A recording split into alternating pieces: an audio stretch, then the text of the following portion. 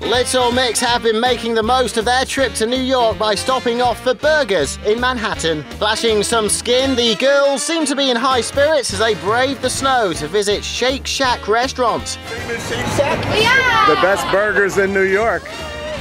And whilst Jessie enjoyed her food, Was the burger worth the trip? It was. Yeah.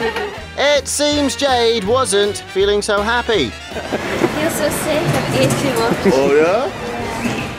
After being given personalised balloons by fans when they touched down in the city, it seems the girls have been properly welcomed to America.